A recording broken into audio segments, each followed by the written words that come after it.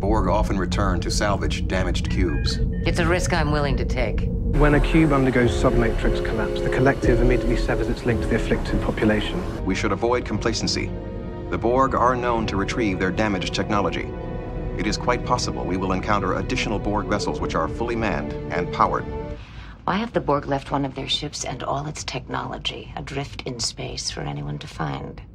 It is possible that the deactivation of the ship and its systems severed the link with the rest of the collective. As far as the collective are concerned, this is just a graveyard.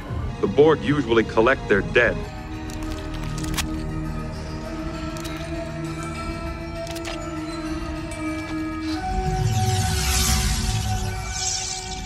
On several occasions, we have witnessed the Borg removing key circuits from injured comrades, no doubt separating them from the group consciousness. The injured Borg immediately self-destructed. No Borg leaves the collective. If they find I am missing, they will come for me. When that kid's big brothers come looking for him, they're not gonna stop till they find him. And then they're gonna come looking for us. And they will destroy us.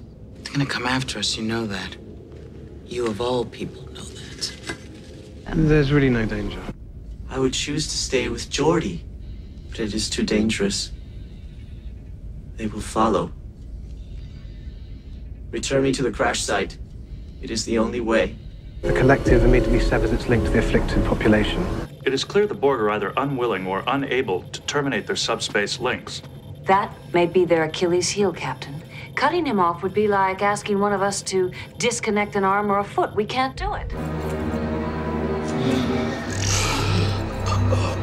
I've disconnected you from the hive mind. The collective did receive the drone's initial distress call. How long before they arrive?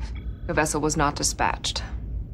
The collective declared the neonatal drones irrelevant and severed their link to the hive permanently. They see them as damaged, unworthy of reassimilation. Precisely.